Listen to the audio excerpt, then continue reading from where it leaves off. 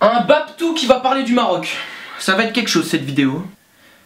Salam Pendant les vacances, je suis parti au Maroc et il y a pas mal de choses à dire sur ce pays. Bon, déjà, le Maroc, c'est en Afrique. Oui, bon, je le rappelle, on sait jamais s'il y a des personnes qui vivent dans une grotte. La première chose que j'ai remarqué là-bas, c'est la différence de température entre la France et le Maroc. Ah ouais, là-bas en été, ils peuvent atteindre des 40-50 degrés faciles. hein. Moi, je suis parti en hiver. Mais même en hiver, il fait chaud. Et je peux te dire que le changement de climat, tu le sens rapidement quand tu passes de moins 5 degrés en France à 25 degrés au Maroc.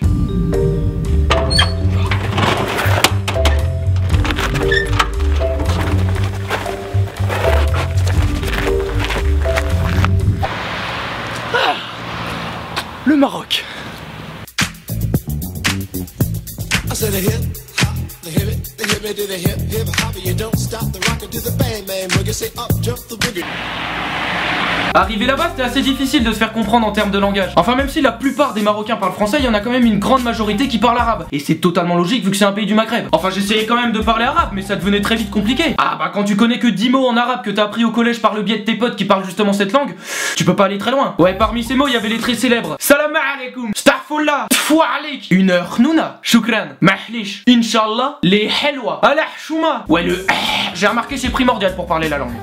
Oui, c'était chelou ce que je viens de faire. Bref, j'essayais quand même d'engager la conversation, mais au bout de 5 secondes, c'était foutu. En tout cas, l'arabe, c'est une super langue, la sonorité, l'accent, l'origine. Franchement, j'aurais kiffé en faire au lycée.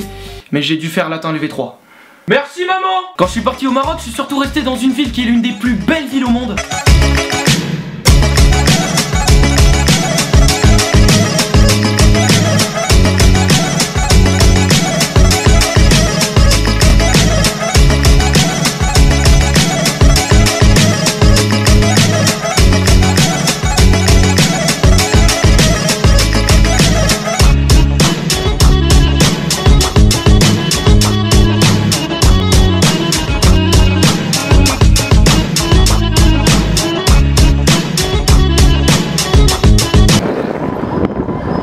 Marrakech, t'as des endroits magiques, des lieux magnifiques. T'as la Koutoubia qui est l'une des mosquées les plus imposantes à Marrakech, les jardins majorels, la place Djemma El Fna. Et d'ailleurs, cette place, eh, c'est un délire les Marocains. hein.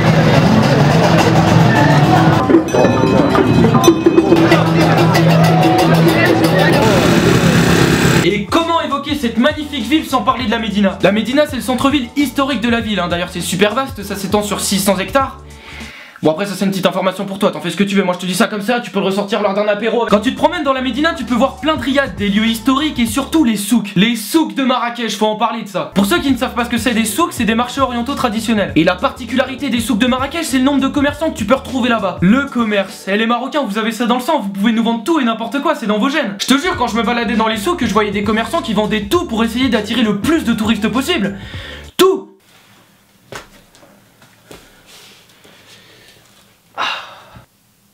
Salam alaikum wa rahmatullahi wa barakatuh, la baisse, ça va là-bas C'est mon marché ici, je vends tout ce que vous me croyez pas Pour les amateurs là-bas, et toi la petite, un t-shirt porté par Lionel Messi, le vrai Un ukulélé Un sac à dos, un sac à dos, un beau sac... La gazelle là-bas Un sac à dos, c'est pas Mais ta gueule Alhamdoulilah Des spécialités marocaines, vous en trouverez nulle part à Marrakech, seul dans mon souk, avec notamment des cornes de gazelle Bon, elles sont un peu entamées, mais tranquille, c'est bon. Ouais, ouais, je vous l'assure, c'est bon. Vous pourrez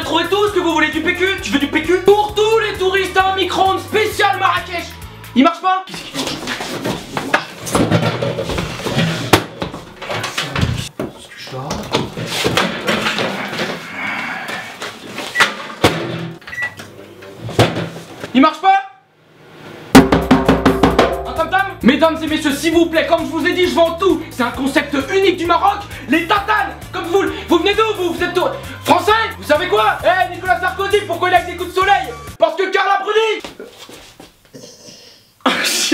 Bon, maintenant les Marocains, va falloir m'expliquer une chose. Vos taxis! Les taxis marocains, ils viennent d'une autre planète. La première fois que j'ai voulu en prendre un, j'ai été rapidement refroidi. Taxi Taxi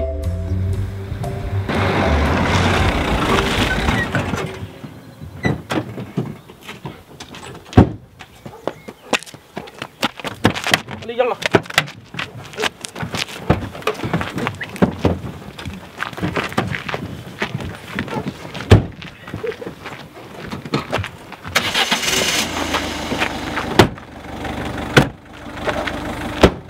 Vas-y, viens, il y a de la place Les Marocains ils sont super sympathiques et généreux entre eux. Hein, D'ailleurs s'il y a des Marocains qui regardent cette vidéo, j'ai raison non? Non mais c'est vrai, il y a vraiment un côté humain qui se distingue des autres pays que je connais. Tu vois, j'ai trouvé qu'il y avait un sentiment de fratrie entre les personnes là-bas. Tout le monde se rend service, les gens sont souriants, limite tout le monde se connaît. Bon après c'est mon point de vue, hein, ça se trouve j'ai carrément faux et c'est pas du tout ça la réalité. En tout cas il y a un élément qui me pousse à dire ça et je vais vous expliquer en résumé. Bon, durant le séjour avec ma famille, oui ma famille hein, parce que j'ai 16 ans je ne pars pas encore seul en voyage. Durant le séjour avec ma famille, on a rejoint des amis qui habitent justement au Maroc. Et donc un jour on a pris la voiture avec eux. On devait rouler un petit peu trop vite sur l'autoroute, donc on s'est fait arrêter au bord de la route par des policiers pour un contrôle de vitesse. Et j'ai été choqué. Ah ouais, les policiers marocains c'est pas du tout les mêmes qu'ici. En France,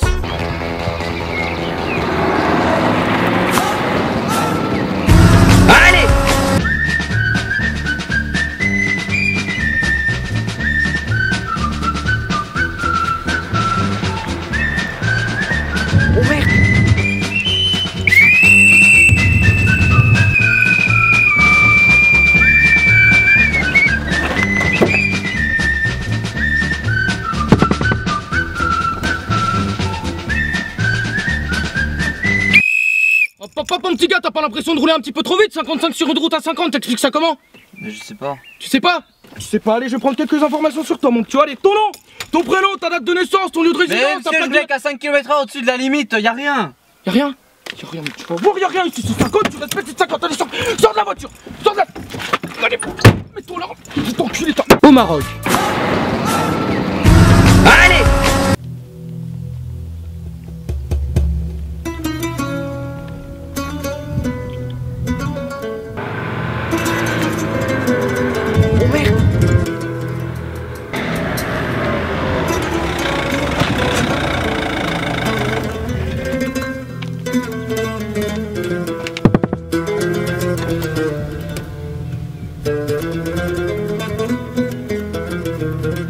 alaikum mon frère, la baisse Oui, oui, bien, et vous. La baisse Hamdek, ça me fait plaisir en tout cas de te voir ici mon Oui, frère. moi aussi, mais vous me dites rien sur ma vitesse. Ta vitesse Bah, je roulais quand même à 110 km/h de 50.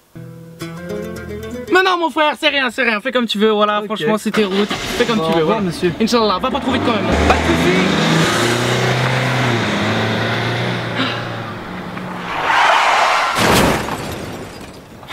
Quand je marchais aussi dans la rue là-bas, je regardais les Marocains qui se disaient bonjour en se serrant la main et ils ont une façon de se saluer assez différente de celle de la France. Enfin, ils rajoutaient un petit quelque chose, mais j'ai remarqué que j'avais aussi des potes arabes dans la vie de tous les jours qui me saluaient la main comme ça.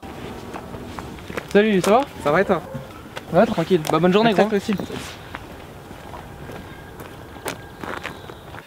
La main sur la poitrine. Faut que vous m'expliquiez pourquoi vous faites ça. Enfin, même si c'est un petit quelque chose, moi ça m'a attiré l'œil. Hein. Donc voilà, si jamais parmi vous il y en a un qui sait pourquoi certains saluent la main comme ça, bah n'hésitez pas à me le dire dans les commentaires parce que j'ai bien envie de savoir. Et enfin, s'il y a bien une chose qui me manque depuis que je suis rentré en France, c'est la cuisine marocaine. Les couscous, les tagines, la pastilla, sans oublier les pâtisseries avec notamment les cornes de gazelle. Tout est bon là-bas. Et puis les boissons aussi, hein, le thé à la menthe. Votre thé à la menthe. Je sais pas comment vous préparez ce thé à la menthe, les Marocains, mais il est parfait. Franchement, changez rien. Enfin, si, peut-être juste la façon de le servir.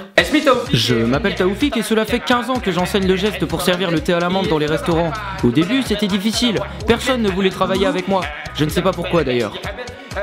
Ce que j'essaye d'apprendre à mes élèves, le geste, le geste, c'est vraiment d'aller le plus haut possible, quitte à toucher la lune, si Dieu le veut, tu vois. Je rigole.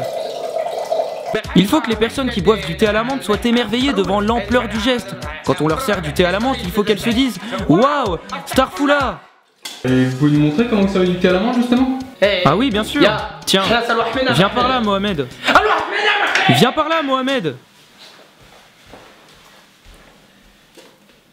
Bon, lorsque vous prenez la théière en main, c'est là que tout va se jouer. Il faut vraiment que votre avant-bras soit cassé et qu'au moment où vous versez les premières gouttes du thé, votre bras s'élève vers le ciel, la lune, tout en restant droit. Voilà, toute la difficulté est là. Après, c'est des années d'expérience, de travail. de- Allez, Mohamed. Mohamed Bon, eh bien écoutez, Taoufik, euh, merci beaucoup de nous avoir accordé cette interview. Ah, merci, Et merci. vous avez un dernier mot à faire passer? Euh, écoutez, si vous voulez apprendre à servir du thé à la menthe comme nous, rejoignez-nous. Comme j'ai dit, il y a vraiment une cohésion dans notre équipe. Personne se critique, tout le monde s'entend, tout le monde se respecte à défaire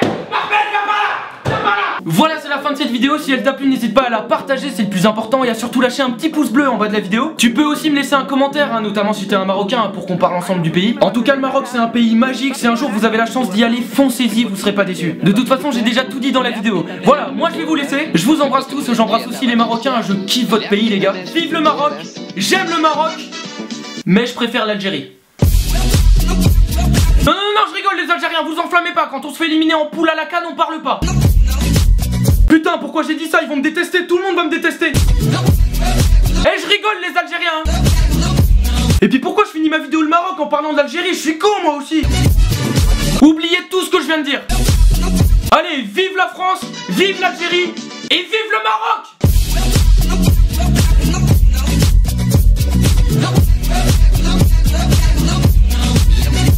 Et comme on dit en arabe, Tmeta bel hayet.